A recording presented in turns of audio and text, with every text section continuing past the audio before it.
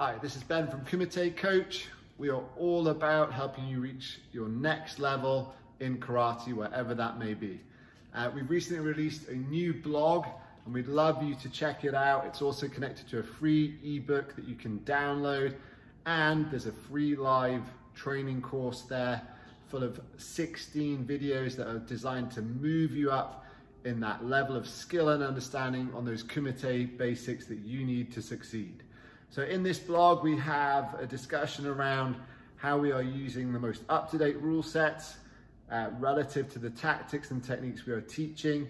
We have that percentage edge that we can give you to help you move forward away from that you know, standard placing to that person that's starting to medal, that person that's starting to get results.